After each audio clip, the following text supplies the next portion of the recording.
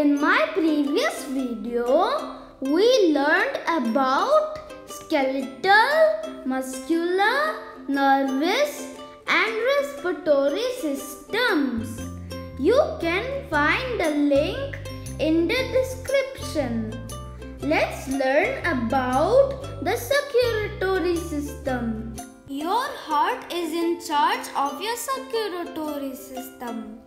Your heart pumps blood to every cell in your body. First, the heart pumps blood to your lungs to pick up oxygen. Then the heart pumps this blood to all your cells.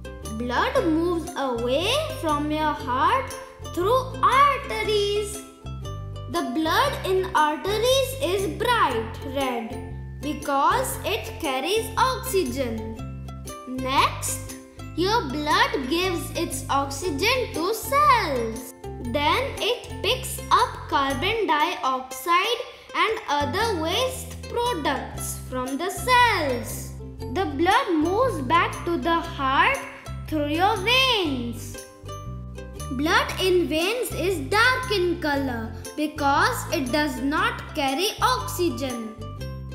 If you put your hand over your heart, you can feel your heartbeat.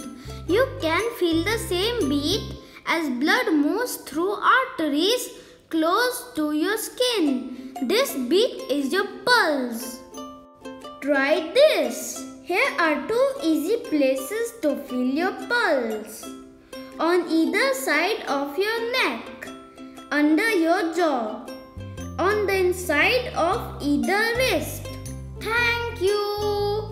Don't forget to subscribe to my channel for more interesting facts with Ricky.